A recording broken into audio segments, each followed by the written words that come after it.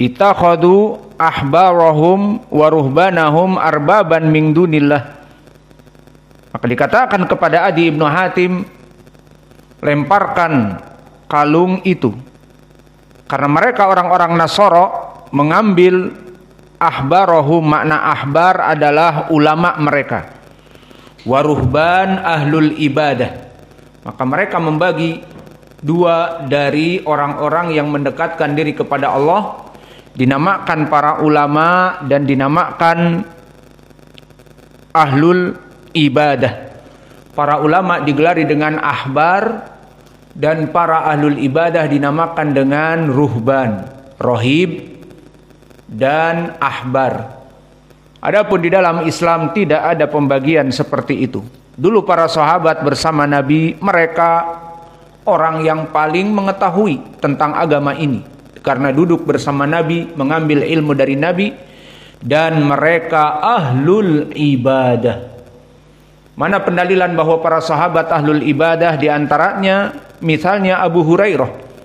Di saat di hadis yang mutafakun alaih dari Abi Hurairah, fa inna abwaba al jannah yad'u li ahlihi.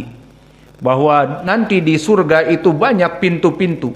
Semuanya memanggil untuk orang-orang yang spesifik ibadahnya. Fayud'a ahlu siyam min babi rayyan maka dipanggil orang-orang yang melaksanakan puasa dari pintu rayyan. Fadu'iya min ahli sadaqah min babi sadaqah. Wadu'iya min ahli salah min babi salah. Wadu'iya min ahli jihad fi babil min babil jihad. Maka semua pintu-pintu akan memanggil ahlu sadaqah, ahlu siam, ahlu salah, ahlul jihad akan dipanggil. Silahkan masuk, kamu pantas masuk surga lewat pintu ini. Maka berkata Abu Bakar, Ya Rasulullah, hal hunaka minal fard an yud'a min kulli abwabin maka apakah ya Rasulullah ada orang yang dipanggil dari berbagai pintu? Maka dikatakan oleh Nabi Naam wa ana atamana antakuna minhum. Tentu. Dan aku mengharap engkau wahai Abu Bakar adalah dari mereka. Menunjukkan bahwa Abu Bakar a'lamun nas orang yang paling berilmu. Di zaman itu semua orang melaksanakan sesembahan berhala dia mengikuti Nabi belajar dengan Nabi. Dan dia pada saat itu juga dari ahli ibadah yang mana disebutkan pintu surga akan memanggil-manggil Abu Bakar dari berbagai pintu untuk dimasuki. Maka ini menjadi pendalilan bahwa di dalam muslimin tidak ada pembagian ini ahli ilm khusus ulamanya dan ini ahli ibadah sehingga ahlul ilm tidak melaksanakan ibadah dan ahlul ibadah tidak mempunyai ilmu. Maka bagaimana bisa seperti ini? Karena ibadah butuh kepada ilmu. Maka orang-orang yang beribadah di dalam Islam terjauh dari kebid'ahan, mempunyai ilmu. Kalau ibadah tidak mempunyai ilmu, maka dia akan melaksanakan kebid'ahan dan tidak diterima. Dan orang-orang yang berilmu tetapi tidak beribadah, maka dia akan tercela karena mempunyai ilmu tidak melaksanakan amalan dari ilmu tersebut. Maka makna dari ittakhadu ahbarahum wa ruhbanahum kata Nabi mereka orang-orang Nasara itu mengambil alim-alim mereka dan ahlu ibadah mereka arbaban min dunillah. Menjadi rob-rob pengganti dari Allah. Maka berkata Adi ibnu Hatim Ya Rasulullah innahum lam ya'budunahum. Wahai Rasulullah mereka tidak menyembah para pendeta-pendeta ini.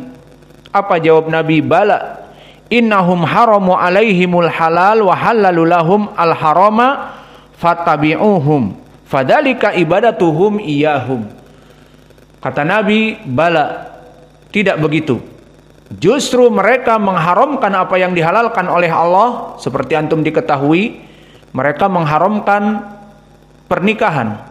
Maka para rohib itu tidak menikah perempuan dan para biarawati tidak menikah laki-laki maka mereka mengharamkan apa yang dihalalkan oleh Allah dan mereka menghalalkan apa-apa yang diharamkan oleh Allah dan diikuti oleh pengikutnya. Fadalika ibadatuhum iyahu maka inilah dari peribadatan mereka menjadikan para rohib dan para ruhban ahlul ibadah dan ahlul ilm mereka itu diikuti secara taklid buta bahkan perkara-perkara yang halal dan yang haram pun mereka ikuti tanpa harus sesuai dengan kitab mereka atau tidak. Maka ini ibadah dari orang-orang Nasoro kepada mereka.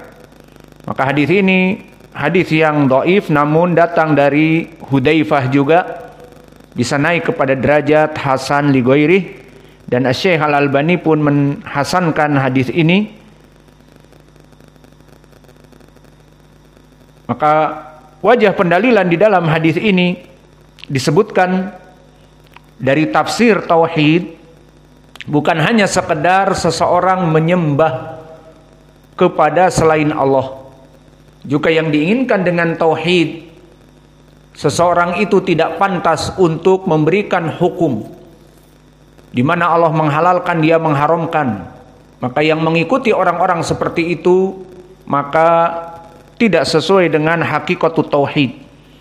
Maka oleh sebab itu Nabi membaca ayat ini ittakhadu ahbarahum wa ruhbanahum arbaban min dunillah. Nabi menjelaskan kepada Adi Ibnu Hatim yang dulunya Nasoro bahwa kata Adi mereka tidak sujud kepada para rohib. Kata Nabi bukan masalah sujud tetapi mereka bertaklid buta. Mengharamkan apa yang dihalalkan, mengikuti dari pendeta-pendeta tersebut padahal Injil mengatakan sebaliknya maka itulah kalian beribadah kepada rohib-rohib tersebut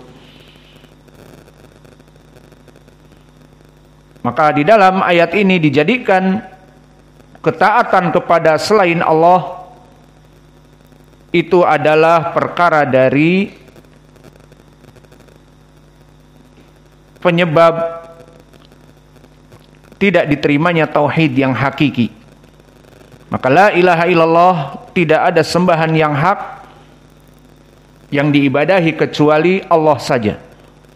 Maka barang siapa yang mengikuti manusia dari penghalalan dan pengharaman maka tidak mempraktekkan tauhid seperti orang-orang Nasara yang mana mereka itakhadu ahbarahum wa ruhbanahum arbaban min dunillah maka mengharamkan yang dihalalkan dan menghalalkan yang diharamkan itu adalah hak dari Allah Jalla wa ala.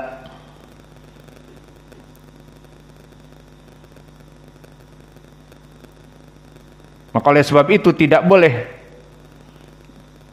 di sini seseorang bertaklid buta kepada siapa pun tetapi diharuskan untuk mengikuti dalil. Maka Allah berfirman ittakhadu maka Allah berfirman ittabi'u ma unzila ilaikum mir rabbikum wala tatabi'u min dunihi awliya'a qalilan ma tadhakkarun. Bahwa kalian tidak boleh mengikuti selain dari Allah Al-Qur'an dan sunnah dan gulu kepada guru-guru kalian guru gulu kepada ahlul ibadah dan ahlul ilm kalian sehingga kalian meninggalkan Al-Quran dan Sunnah. Tapi ikutilah Al-Quran dan Sunnah dan itulah yang diinginkan di dalam agama Islam tidak bertaklid. Maka selesai dari ayat yang ketiga, kita masuk kepada ayat yang keempat dari tafsir Tauhid.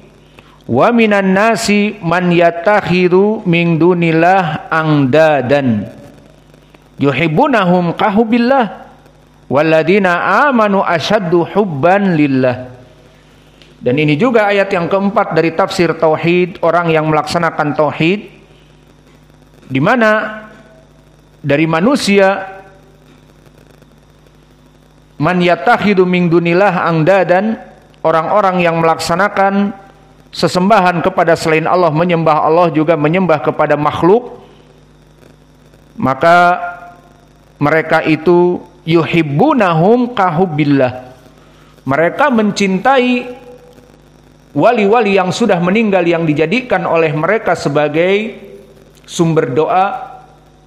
Itu mereka mencintainya seperti mencintai Allah Jalla wa ala. Dan ini hakikah ya ibadallah. Mereka orang-orang yang melaksanakan peribadatan kepada selain Allah di mana mereka meyakini bahwa Abdul Qadir Al-Jailani atau wali-wali yang soleh ataupun yang di Mesir sekarang dan yang di Iran dari Khomeini dan juga bahkan penisbatan kepada Al Husain maka mereka menyangka Ahmad Al Badawi yang ada di Mesir dan juga Husain cucu Nabi yang meninggal di Karbala. Bagi orang-orang yang mereka yakini bahwa mereka bisa memberikan manfaat dan bisa memberikan madarat maka mereka bertawaf di kuburan Ahmad Al-Badawi di Mesir sampai detik ini meminta barokah, meminta rizki, meminta anak dan seterusnya dari apa-apa yang seharusnya dimintakan kepada Allah dimintakan kepada kuburan Ahmad Al-Badawi.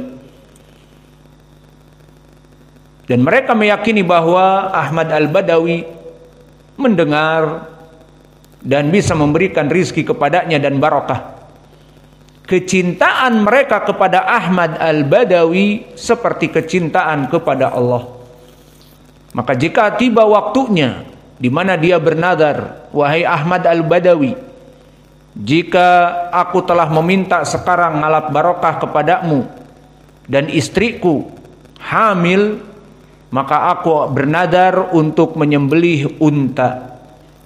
Kemudian setelah itu Allah menginginkan istrinya hamil. Maka dia harus menyembelih unta dan rasa takut di hatinya jika tidak menyembelih akan terjadi bencana. Dan jika menyembelih yufuna binadri maka mereka telah membayar nadernya akan mendapatkan kebahagiaan yang besar dan membuat Ahmad Al-Badawi senang maka ini yang diinginkan oleh Allah wa minan nasi man yattakhidhu min dunillah angdadan yuhibbuhum yuhibbunahum kahubillah. Maka mereka mencintai sesembahan-sembahan selain Allah itu seperti mereka mencintai Allah. Maka inilah yang diinginkan dengan anda dan barang siapa yang mengambil sesembahan kepada Allah dan kepada makhluk anda dan maknanya tandingan maka dia mencintai tandingan-tandingan dari makhluk selain Allah itu seperti mencintai Allah. Dan itu hakikatnya dulu kufar Quraisy, mereka mencintai Lat, Uzza, Manah dan Hubal. Dan juga kaum Nuh mencintai Wadan, Waswaan, Wayagutha, Wayauqa, wa Nasra. Mereka mencintai dan mencintai juga Allah. Mereka meyakini Allah itu ada dan mereka meyakini para wali-wali yang mereka sembah itu pun ada. Dan begitu pun gulunya orang-orang Syiah Ar-Rafidah. Bahkan mereka meyakini bahwa Ali dan Hussein dan semua imam-imam mereka itu tidak mati. Tetapi arwahnya berputar-putar di alam raya dan mendengar dan menyelamatkan dan memberikan rizki kepada mereka. Maka terbayang di saat mereka dalam ditimpa bencana kembalinya ke mana ya Hussein. Dan bahkan seorang muslim jika mendengar khobar yang kaget akan mengatakan subhanallah, masya Allah. Maka mereka jika tersandung jatuh apa yang dia katakan? Ya Hussein. Kembali kepada Hussein. Dan ini wakil. Kembali doa-doa mereka pada Ya Hussein. Sedikit-sedikit Ya Hussein. Siapa Hussein? Cucunya Nabi. Seorang manusia yang mulia. Namun apakah sampai kepada derajat mengganti tasbih subhanallah dengan Ya Hussein? Dan jika jatuh kita mengatakan misalnya Ya Allah ini Ya Hussein. Maka ini kecintaan mereka kepada apa-apa yang mereka kultus individukan anda dan selain Allah. Maka disifatkan di dalam tafsir ayat ini yang menjadi poin pendalilan adalah tafsir makna anda dan orang-orang yang mengambil sesembahan selain Allah maka mereka mencintai sesembahan mereka seperti mencintai Allah. Namun apa? Waladina amanu asyaddu hubban lillah. Adapun orang-orang yang beriman tentunya cintanya kepada Allah lebih. Coba dari segi apa? Dari segi mereka tidak menjadikan makhluk tandingan. Sehingga mereka ikhlas beribadah hanya kepada Allah. Takutnya mereka hanya kepada Allah. Dan pengharapan mereka, tawakul mereka hanya kepada Allah. Adapun mereka yang menyembah kepada Allah dan kepada wali-wali dan kepada Hussein dan kepada Ahmad Al-Badawi dan kepada wali-wali yang sudah meninggal maka kecintaan mereka terbagi kepada Allah dan kepada wali-wali tersebut. Dan ini wakil di hati-hati mereka mencintai dari sesembahan-sembahan selain Allah.